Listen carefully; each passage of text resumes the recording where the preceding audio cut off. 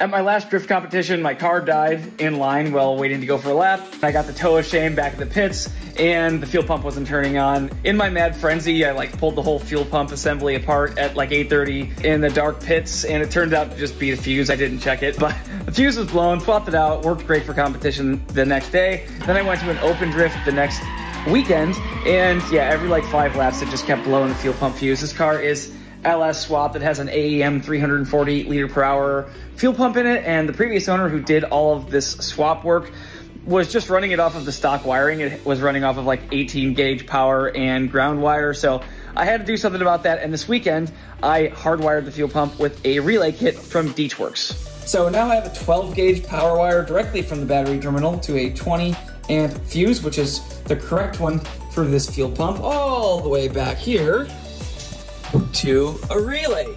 From the relay, the power is connected to the fuel pump, and I used the stock connector. I just depinned it and soldered on the 12 gauge wire onto the terminal pin. I think that should be good. I also did the same for the ground, so now I have 12 gauge ground and power. This should be sufficient for how hard I pushed the fuel pump in there, and I also painted the cover because I need a little bit of motivation to tear this whole car apart and paint it. That's gonna be a winter project.